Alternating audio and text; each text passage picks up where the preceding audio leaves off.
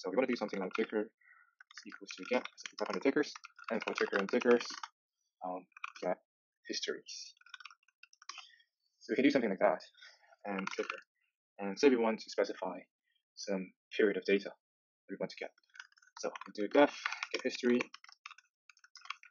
and get ticker here. So to implement this function, we're going to need a data source, and we're going to use uh, the Yahoo Finance API.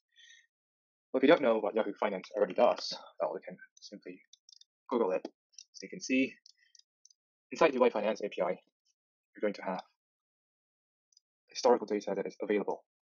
And what this library does is that it will do the scraping and some of the convenient mathematical computations for you. So for example, you can see open high low close and adjusted close, right? So there are adjustments for splits and dividends, and nicely enough, this library is going to do the computation for us, right? So we're going to install it using pip, and then you can take in the info, you can obtain the info, you can get historical data, you can also get a lot of other details, but we're interested for now in this particular function.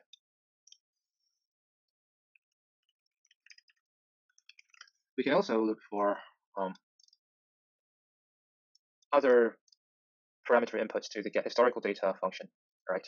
So you'll import it like that, and you can actually obtain um, other functionalities. So for instance, um, how do I get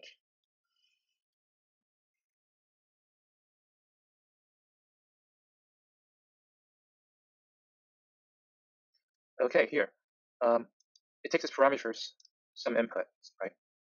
You can either specify a period, such as a one-year period, or you can also specify the start and end period using a datetime object. So this is what we're going to use. You can also specify the interval of data. We're interested in daily data.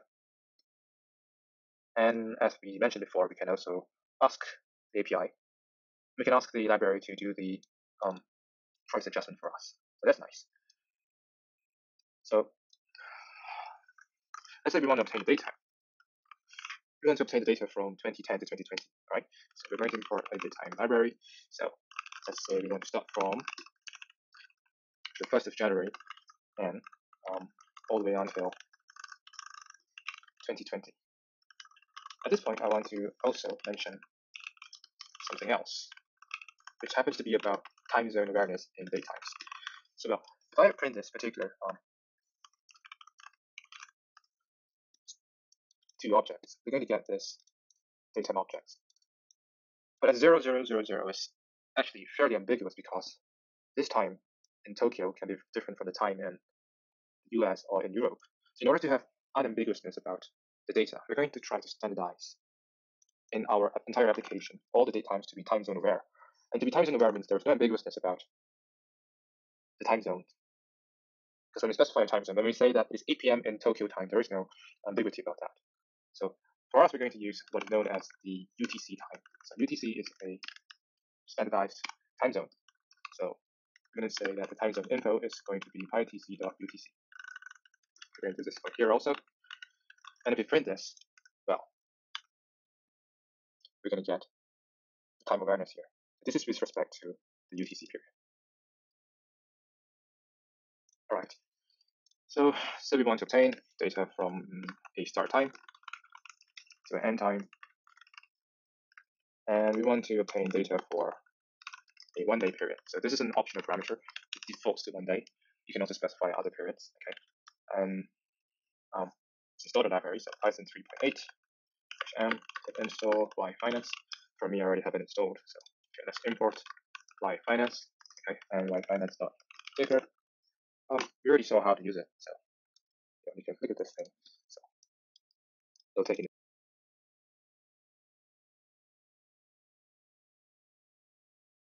And we can call dot history on this object. Right, so let's go ahead and call dot history on that. We've already specified um, in terms of the datetime object, the period that we want. Um, you know, the interval we want is a daily period. And we're going to say we want to adjust the data. Okay, let's try to make this a little bit more readable.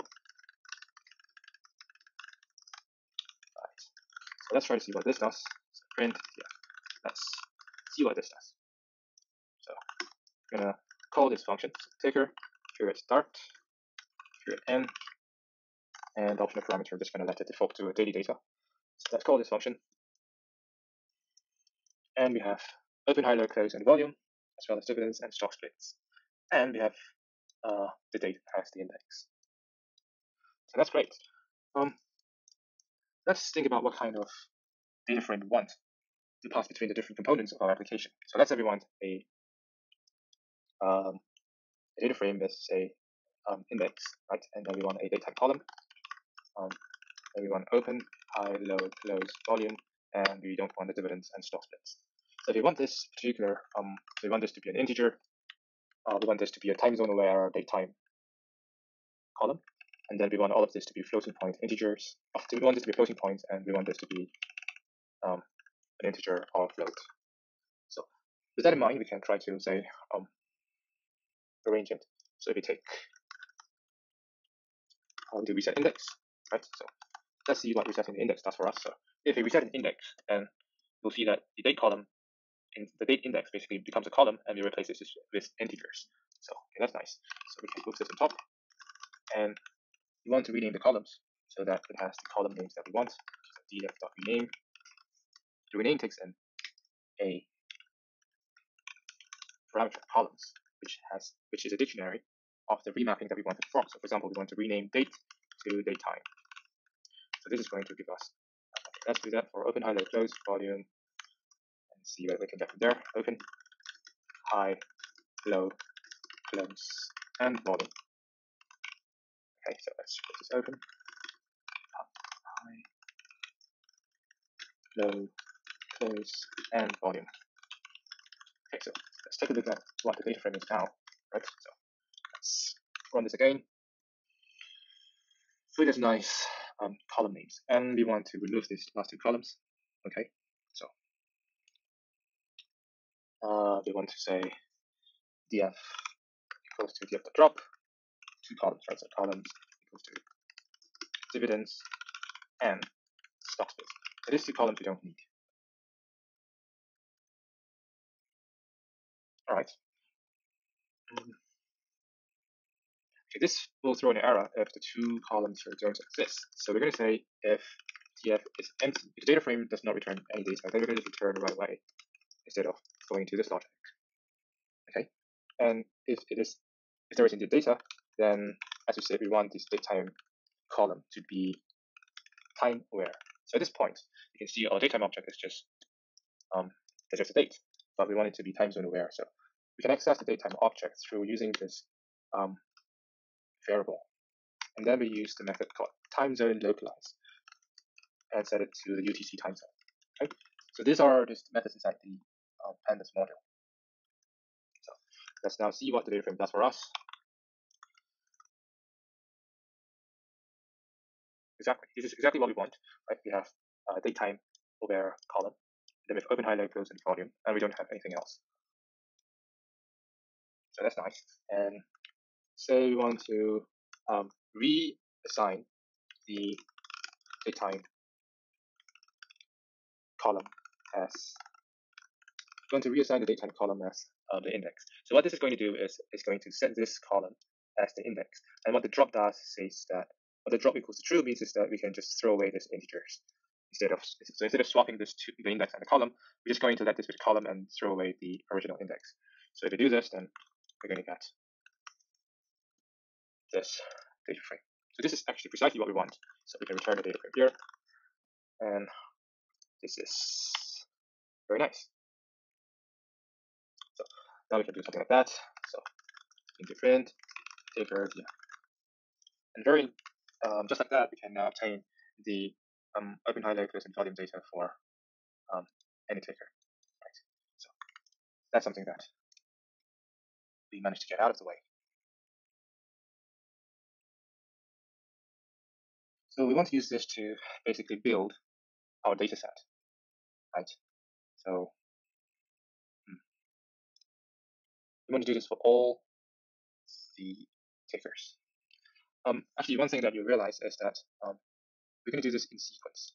So if we do this in sequence, let's say one request takes in half a second, the entire request is going to take 250, about 250 seconds for all 500 tickers. And that is going to be a very painful wait. Know, we're going to have to wait more than four minutes just to get our data.